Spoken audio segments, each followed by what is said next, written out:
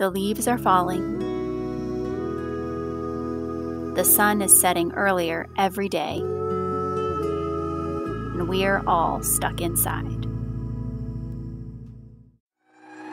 This month on Maker at Home, we welcome back the light with DIY light up cards.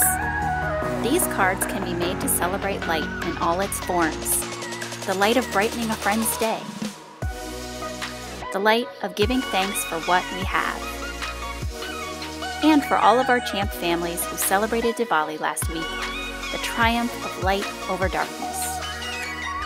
This month, you will learn how to construct a simple circuit using copper tape, a battery, and an LED light.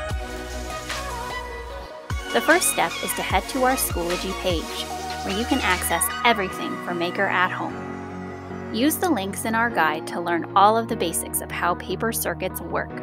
Watch awesome tutorials for DIY light up greeting cards and Diwali celebration cards. And even find troubleshooting tips when your circuit just isn't working. Reserve your kit for pickup or delivery next Monday through our library concierge service.